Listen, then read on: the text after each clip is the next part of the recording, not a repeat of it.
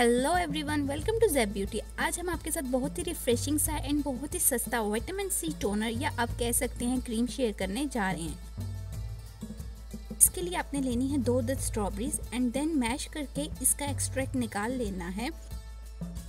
मैंने one tablespoon के करीब स्ट्रॉबेरी जूस लिया देन इसमें one tablespoon rose water मिलाया देन मिक्स इट वेट अब आप इसे किसी भी खाली स्प्रे बॉटल में डाल सकते हैं।